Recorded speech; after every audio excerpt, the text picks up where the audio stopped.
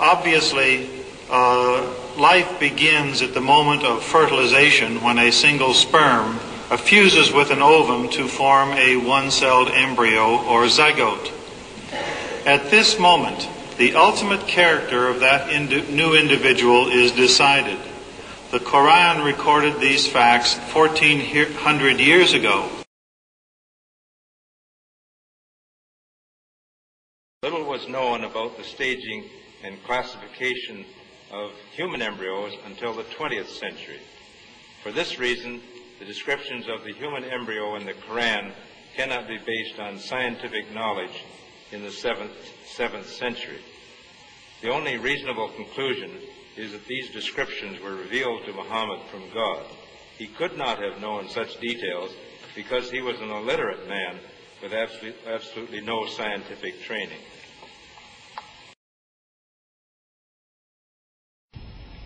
The advances of modern developmental biology raise as many questions as they solve.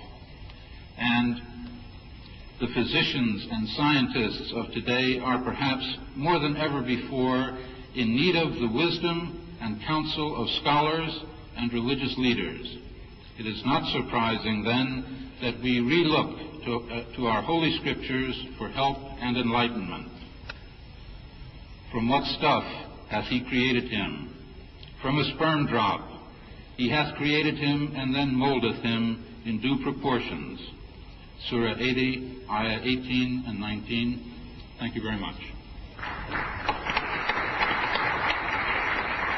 Well, thank you very much, Professor Goeringer. Uh, the paper is open for the discussion now, and we have only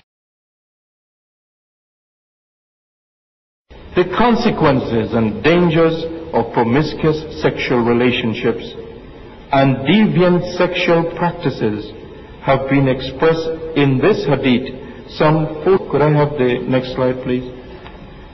And I hope it is in the, it is correct. The lewdness will not exist among people until they appear as a common practice and plagues a new disease which did not exist before will spread among them.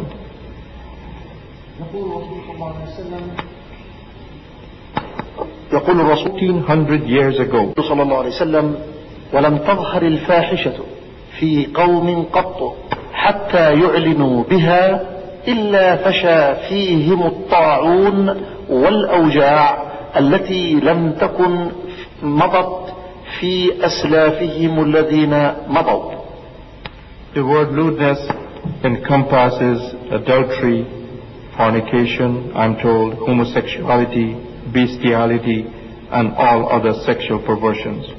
And it is not wide stretched of, of any imagination that we should not consider herpes and AIDS as clear examples of new diseases, and indeed at the present time, new diseases for which we have no cure. Thank you very much. Thank you very much, Professor Persaud, for your very interesting subject. And uh, I think there's a lot of discussions. This will be postponed to the end.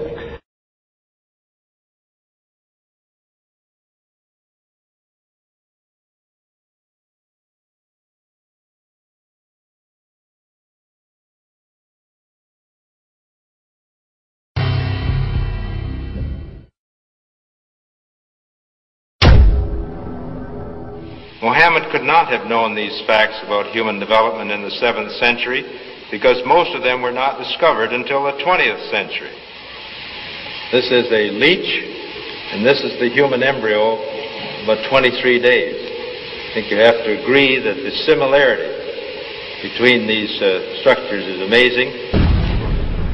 The key word in both is alaqah. At this stage is known to no one except Allah.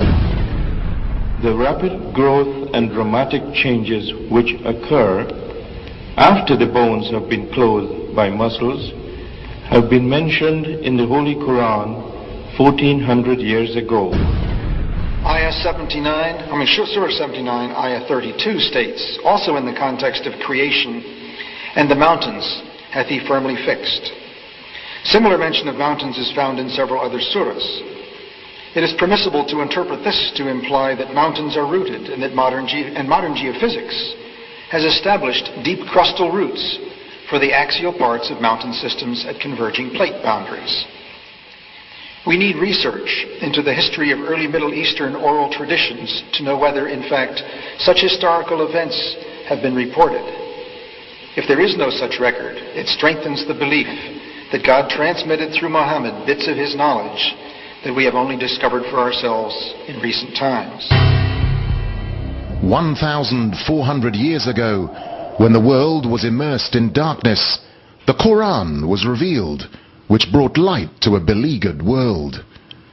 And whereas the earlier books came with many scientific mistakes, due to the hand of man having delved into them, the Quran had none of these contradictions. The world thought there could be no reconciliation between religion and science. But the Quran mentioned many scientific facts in great detail, like how a human being developed in the mother's womb, and described other scientific facts which amaze the world's renowned scientists and scientific community. Such was the impact of these revelations that the first Islamic medical conference was held at the Arab League building, Cairo, Egypt, on the 26th of September 1985.